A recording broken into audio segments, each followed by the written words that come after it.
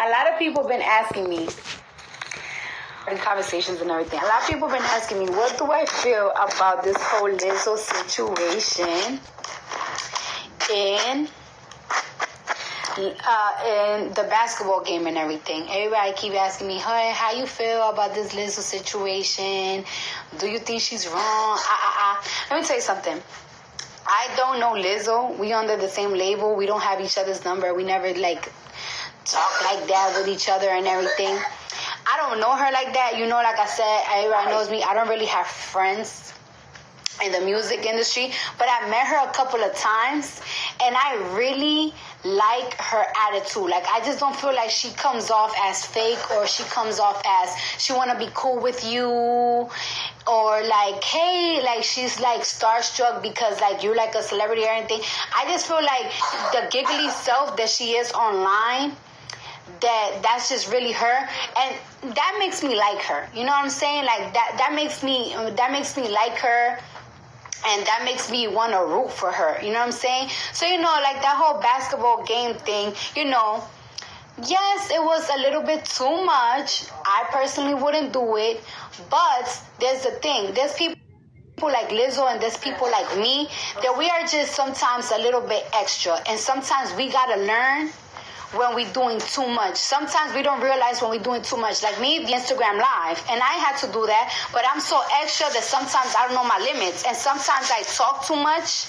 And I say too much because I'm too open, or um, me, I be naked a lot of times because I used to be a stripper, so I'm just such a free spirited person that sometimes I don't you know, since I'm so extra, I don't know when um you know when you do too much and sometimes you you just you just learn. But it's like while we learning, like for example, like when I learn or like while she's learning, when she do something wrong, she don't gotta get dragged for it. Like she don't gotta get eaten up for it. Like it's like it's it's it's it's not it's enough that people are dragging for her for doing something that was like too much but it's like body shaming her continuously body body body body shaming her and chewing her up. I don't like that. I don't like that. That's bullying. And i don't like when people bully celebrities because when I used to get bullied all the time, like I literally just felt like I was dead, but I was living. Like I just was so depressed all the time. I I just I, and, and it's like you know like I used to come to my grandmother's house so I could make myself feel better, and that wasn't even working for me. I was just so depressed, and I don't like. uh me knowing that another artist or another person is going through that. So it's just like people just need to calm down. People do fucked up dumb shit all the time. I do dumb shit all the time. I get dragged every week all the time to the point that I practically got used to it. Like I just got used to it. I deleted my Twitter and that's just that. But um you know, I don't like that shit. And then my thing is that it's like, you know, people have asked me how do I feel about like Lizzo being categorized as a female rapper? I honestly don't mind it because I don't mind it. Spaghetti and meatballs? You what? You guys got Chef? McDonald's is like five blocks away. We're tired of eating fucking coca sandwiches. Like, all right, you could get a coca. I could literally call the bodega because, oh yeah, the bodegas around here, they deliver. I could call the bodega right now, but I'm fucking tired of eating a coca sandwich. I ate a coca sandwich for breakfast. Do you have the coca sandwich uh, wrapped or you threw it away? I threw it away. Yeah, like I ate a I ate a ham and cheese coca sandwich for breakfast. Like I uh, fucking ate one um two days like like uh, last night. Like it's like I'm tired of it, but it's like what am I supposed to do? Never you gonna do me the Chef Boyardee? Chef. Yay! Voy a ser tu chef. You sound, Yes, my chef. you sound like the baby there. Like the baby? Oh, like my daughter. Oh, we miss her. Boing. She's back already. Oh yeah, so like I was talking, right? Like I was saying, so I was talking to some music industry people, and you know they was talking about, um, you know, uh, Lizzo being categorized as a female rapper. But the thing is that Just like they did to Lil Nas. Lil Nas was a little bit more public about how they didn't want him to be categorized as a country artist because he was black. They don't want to categorize Lizzo as a black, uh, as a pop star because she's black and because her image. And it, it, they have they've been making it really hard for her to be categorized uh, for that. I, I, I, don't I'm not saying it as correctly as the person in the industry was saying it, but it makes sense. They don't want a black woman that look like Lizzo compete with the other pop star girls. So when people be like, "Oh, it's so sad when I be seeing people, uh, Lizzo own people talking shit about her because she's a female rapper," ah ah ah. When when y'all don't really know the truth about that shit, it's like it's so sad because they don't want to categorize her as a as, as a certain type of artist because her look, her image, her color, and they don't want her to competing with the other girls. With the other girls. So people be dragging her, but they don't really be knowing the real facts. And I don't like that. That's why y'all really need to stop dragging people. Y'all be wanting people like, oh, we want our people to win. We want people to win. We want people to win. No, y'all really selective on who y'all really want to win. That girl minds her business. Don't be in motherfucking trouble. Mind her business. Don't be in trouble. Shows love to everybody. Work, work, work. And for some reason, y'all don't like her. That's dead wrong. And I'm not fucking defending people because I'm I'm cool with them, this and that. Like I said, I barely know her. I met her a couple of times. The couple of times I met her, I think that she was very fucking sweet. Um, I don't really have a relationship with her. Uh, nothing. But I just don't like that bullying shit because I know how that shit breaks you down, especially when you're a fucking new artist. That shit will drive you crazy. And it really hurts my heart to see somebody fucking crying on live because of the constant bullying. I don't like that shit.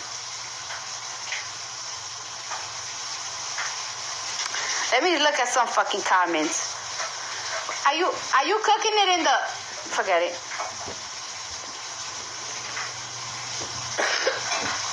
You ever cook that shit in the microwave? no. Not because that smell like the pot, and I'm like, are you cooking it in the pot or in the? No, I mean, I mean, I mean, and the pot is better. You know what I'm saying? It's better. It's way better. You,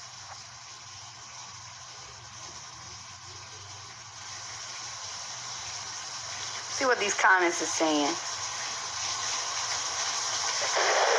Everybody keeps saying free motherfucking Barney. What the hell? I got a new charge or something? Y'all scaring me. Somebody said, "Do you know Shatta Wale?" Yes, I do know him. The guy, um, the Ghanaian artist. Yes. Um, before I even came, before I even went to Africa, um, I have I have uh, Ghanaian friends. You know what I'm saying?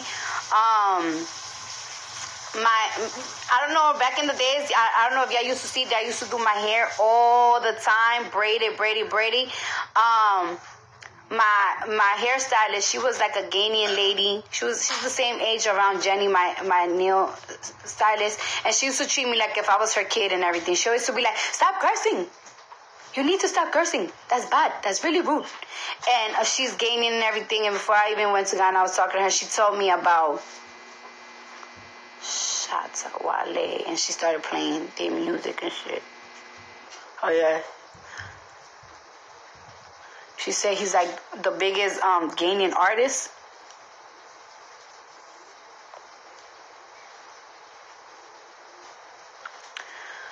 Oh my god. Oh, you, all right, so let me tell you guys something, right? I've been going through it. Good.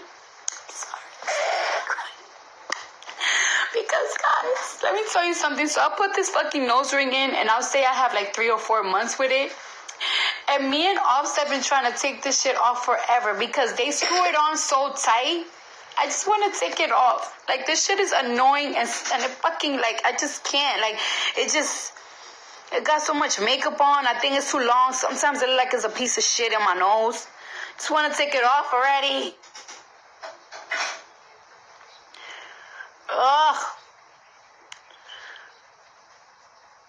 Want to take this shit off? I'm hung. I can't. How? I to, I just said how. They screw it on. They just. on it. No what? They screw it. I swear. I gotta go to a, a piercing place to take it off, but I don't got the. Piercing? Huh? Piercing?